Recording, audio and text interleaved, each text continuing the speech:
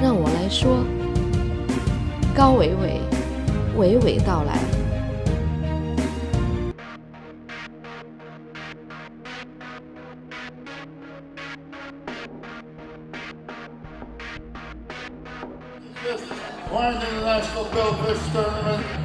Team number 34, China Sea Wolf Club.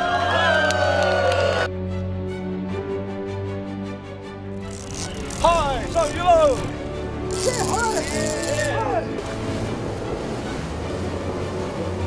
我们突破了历史，我们创造了历史。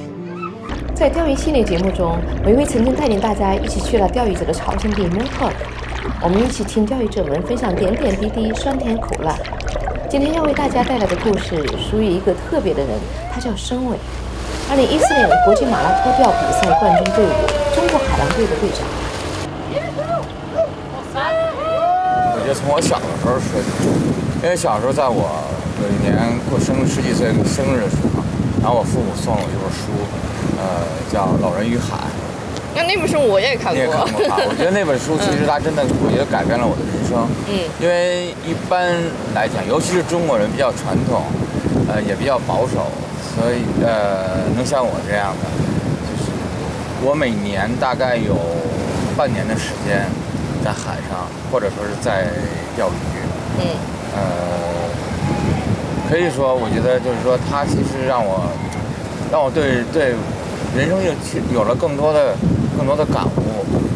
呃，怎么讲呢？就是首先，我觉得海钓人呢，他是他他会非常喜欢大海。呃，你越走进大海，我觉得其实就是越感受到这个大海的这种宽容。二十多年如一日，我真觉得很不容易啊。对啊，这因为你爱好嘛。其实钓鱼是一个非常辛苦的活，特别累。嗯，我感受到了。今天早上我就感到那么早起床。那有的时候我们在钓鱼，可能在路上的时间，我们要花两天甚至三天才能到达目的地。那那时候你们在想什么呀？呃，就是追寻自己的目标鱼吧。按我们钓鱼人来讲，就是因为每个人都会，就是不同的，因为有很多种不同的鱼种。那么我们可能就是说，我到一个地方，比如我到美国，或者说我到啊、加拿大，嗯或者说我去南美，嗯呃，去非洲，我都是在找寻不同的鱼。就是说你是去了世界各地去钓鱼。对对对对。嗯。那么你就是在这个过程当中，你最快乐的事情是什么呀？我觉得最快乐的其实就是钓鱼的过程，而且呢，怎么讲呢？就是说，呃，世界上最早的文化就是渔猎文化。那么我们可能就是说，我们到一些地方，其实它是都是相对来说是比较原始的，不是说一般的旅游你可以去到的地方。所以呢，你可以跟当地的呃渔民也好，还当地的呃这个比较偏僻的地方，他们其实还保留着很多很多的这种非常原始的呃这种生活状态和工作状态。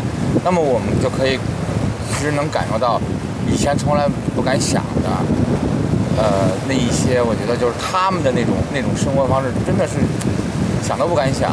嗯。也会有很多，每一次出行吧，每次出海钓鱼都会有不同的感受。那你举举例子给我们分享一下。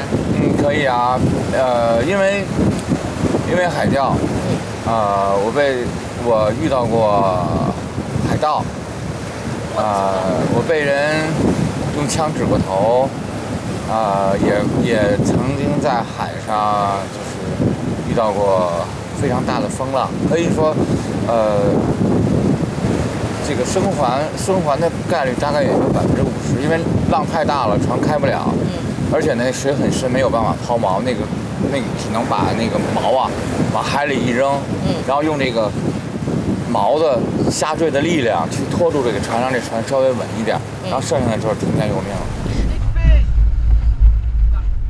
即使有生命危险，即使旅途漫长，申伟依然乐此不疲，全世界勇敢的去钓。本期的娓娓道来节目就到这儿结束了，我们下周五见。